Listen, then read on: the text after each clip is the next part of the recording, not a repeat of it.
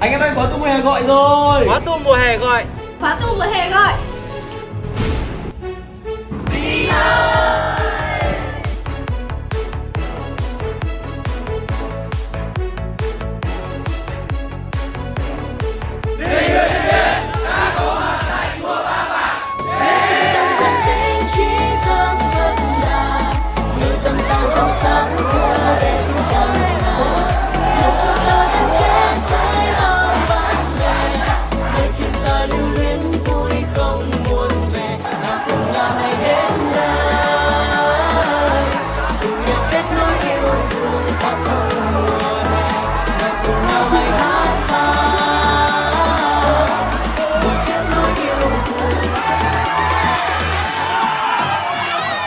Em ờ, với vai trò một tình nguyện viên thì em cảm thấy em học được rất là nhiều điều. Em thấy em tự tin hơn, vui yêu đời hơn.